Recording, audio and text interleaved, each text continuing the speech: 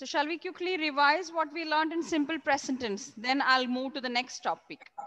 Okay, so I think you know that very well. By this time, you know everything clearly. So Ethan, can you tell me the form of making simple present tense? How to make a sentence in simple present tense? What is the rule? Subject plus? That's what I asked. Subject plus Hmm. subject. Subject plus verb. Verb. Verb in which form? Good morning, ma'am. Good morning. ma'am. Is it the first form or base form? What do we say? S V1 V1. plus S or ES. You should keep that in your mind always. Okay. So how to form a sentence in simple present tense? Subject plus V1 plus S or ES. And when do we add this S or ES? In which, which case we add this S or ES with the verb? Tell me. How many of you remember that? Ab habitual action. No, no, no. That is a rule. That is a area where we add, a, where we use simple present tense. I'm asking where we will add S or ES with the verb. In which situation we have to add S or ES with the verb. When the subject becomes singular. singular. Singular. Yes, When the subject becomes singular, we have to Singular. add S or ES. Yes. Okay, remember that always. Then, if uh, if it is plural, do we have to add S or ES? Uh, no. No. No. No. So I think some of you have forgotten what we discussed. So what you have to do? I shared the notes of simple present tense. All the rules are written there clearly. Please read. Okay, you have to read the notes before you do that exercise. And there are five questions also as homework. Please complete all the notes in your grammar notebook. Shall we move to the next? Are you ready? Yes. Yes. So we are going to learn a new topic today in tenses. Wait.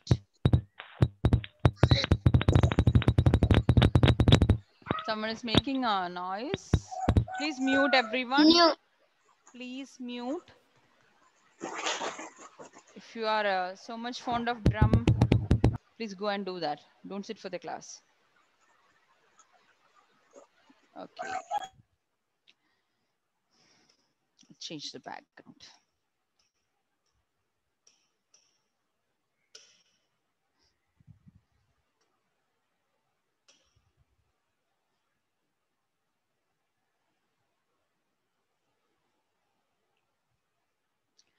Okay.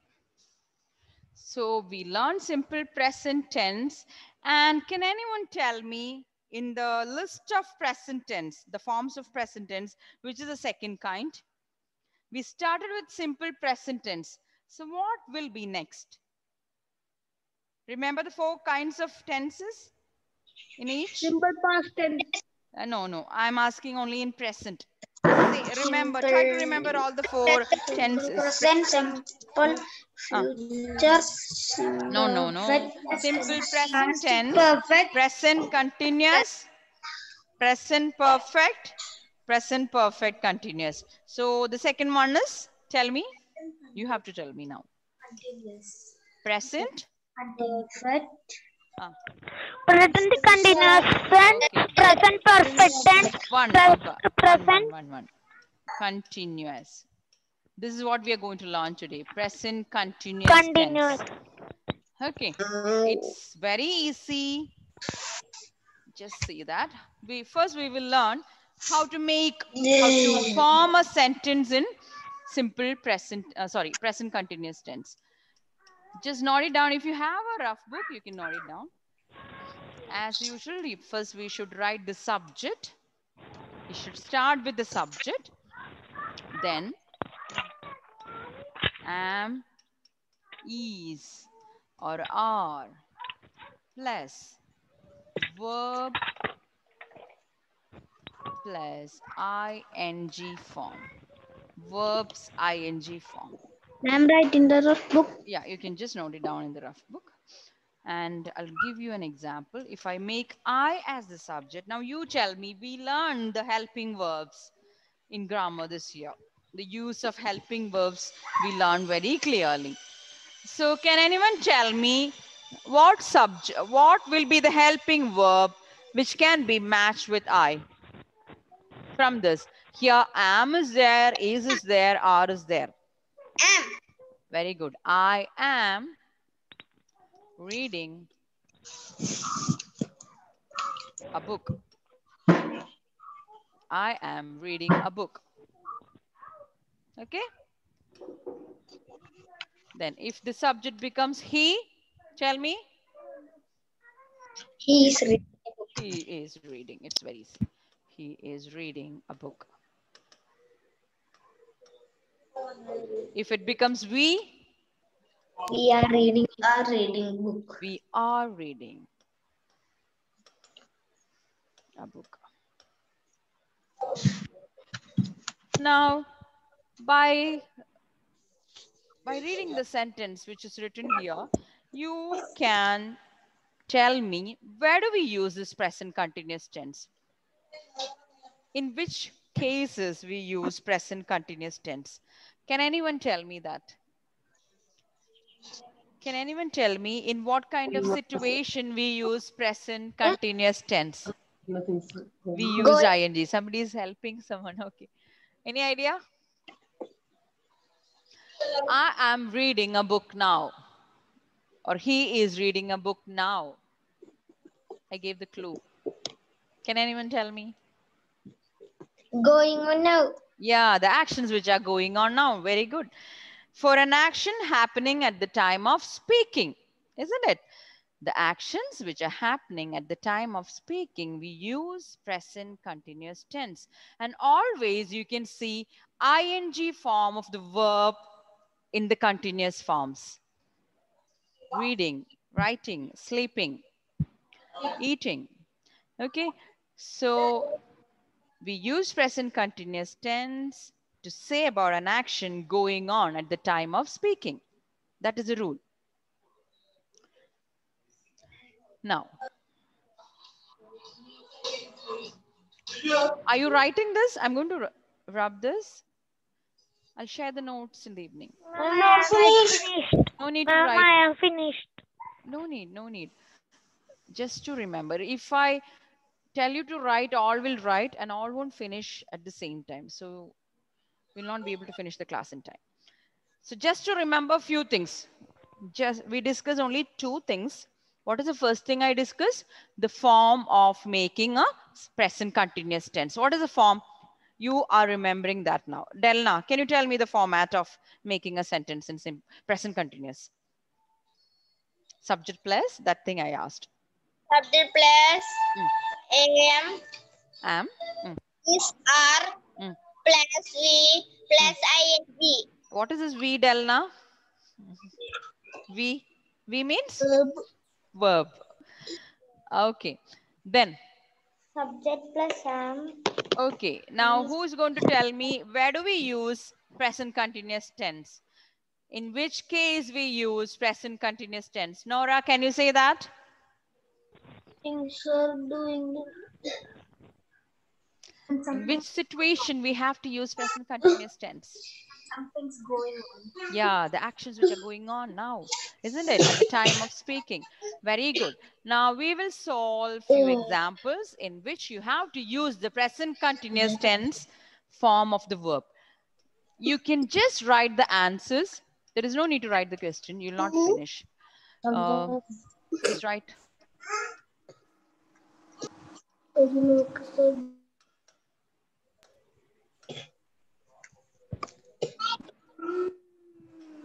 Using present continuous. I'll use the short form. should be right. Uh, just write the answers. No need to copy down the questions because the questions will be shared as notes. First one.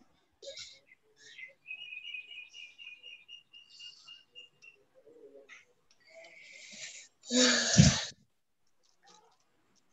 is has. Come into the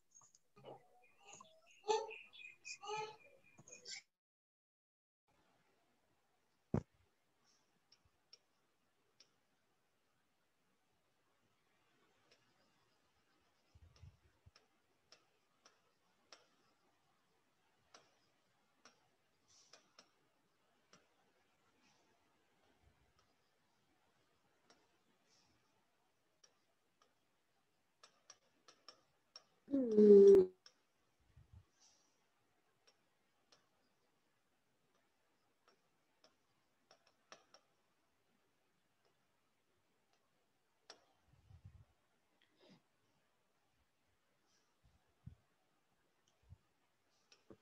want to write this. Uh, just write the answers.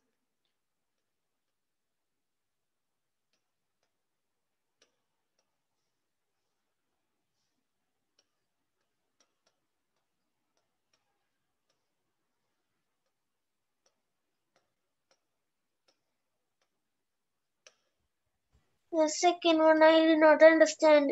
Rima and her friends are dash a function. In the bracket, the verb given is attend. So which form of the verb should be used? You have to use the present continuous tense form of the verb given. Okay? Is it clear now?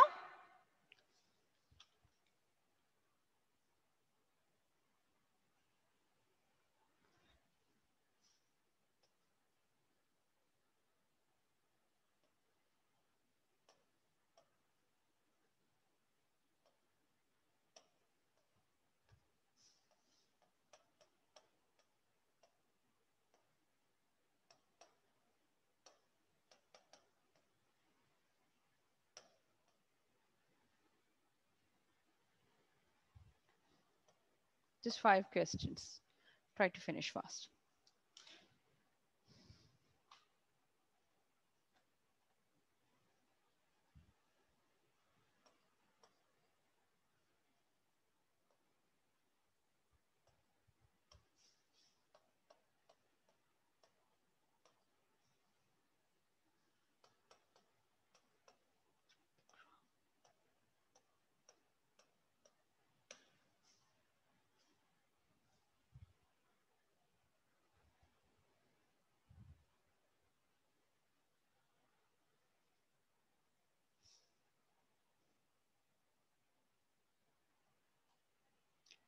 Finished? Shall we discuss the answers along with this? Ma'am, I just not finish. I'm finished. Okay, Krishnesh, can you read the first one? Ma'am, I did not finish. You didn't finish. Okay. Yes, Who finished? One, first one I know. Shabri, Ma'am, I finished. Shabri, read the first one. Ma'am, finished. Ma'am, finished. Okay, okay. Finished. Okay. A car. Drives. Huh. I can't hear you, Shabri. Say clearly. He is dash a car. Okay. So what is the verb here? Tell me the verb. Drives. Yeah, that is there. You didn't listen, my dear. We are using present continuous tense form of the verb. We finished simple present tense. You are still in simple present tense. Don't get confused with both. Therefore, I say the answer.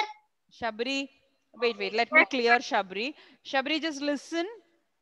What is the format of making a sentence in simple, uh, sorry, present continuous tense? Subject plus am, is, are plus verbs ing form.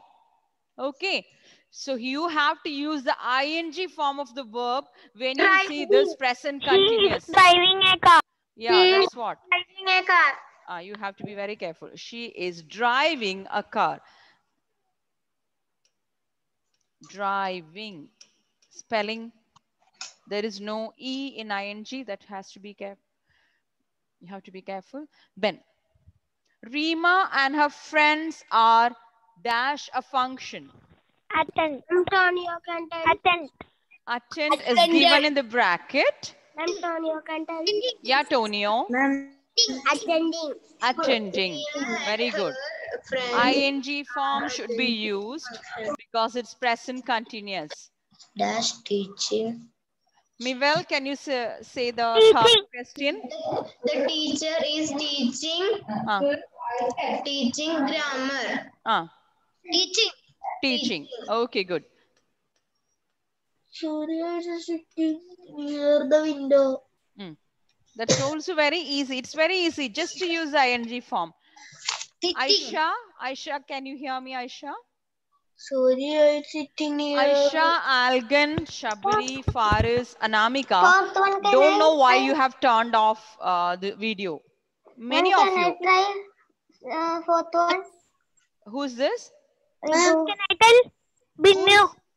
Ridu, can I? Uh, Ritu, Fourth one. just say that uh, fourth one then. Binnu, I'll give you the fifth. Uh, Su- Surya is Mm. sitting near window. okay, so, Then uh, Ritu, can you tell the spelling of sitting? Hmm? Can you tell the spelling of sitting? S-I-T-I-N-G. Spelling? Ma'am, can I? How many T? S-I-T. Uh, okay. I double T-I-N. You have to be careful in that case. Uh, okay, Binnu, say that. They are playing in the ground. Mm. They are playing around. P L A Y.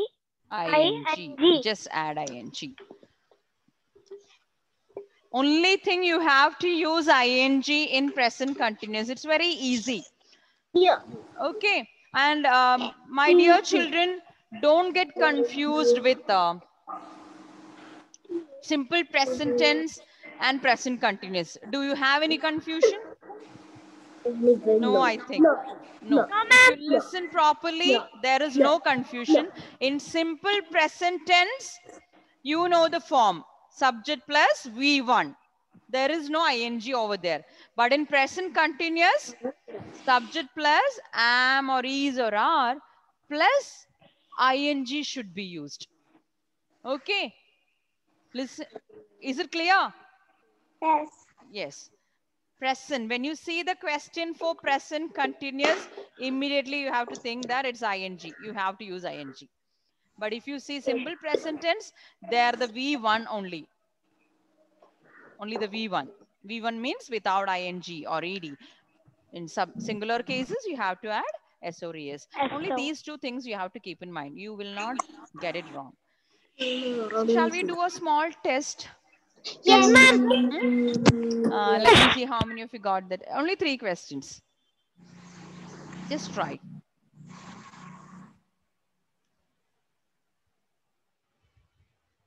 One second.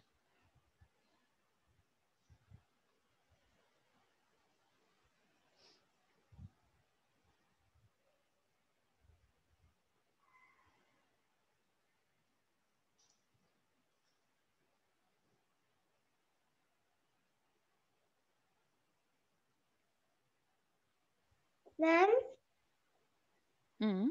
See the chat.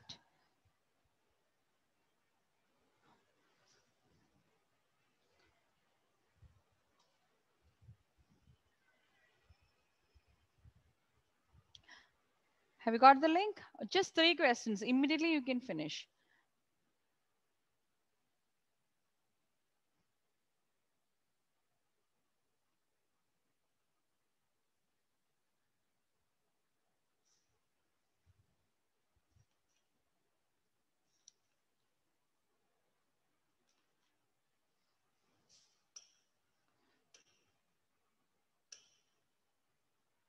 Ma'am, finish. Finished. Okay. Ma'am, can you send link in the WhatsApp? Why? You just send me a message, then I can share that link. Okay. Those who want the link in WhatsApp. Okay.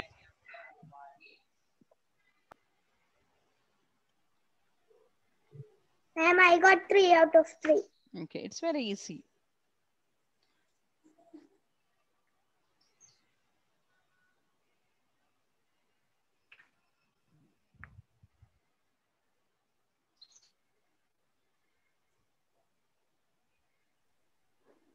I get three out of three. Mm, okay, most of you got. Very good. Ma'am, I got three out of three. Good. Ma'am, I also get three out of three. Many of you got. It's because it's very easy. There is no confusion.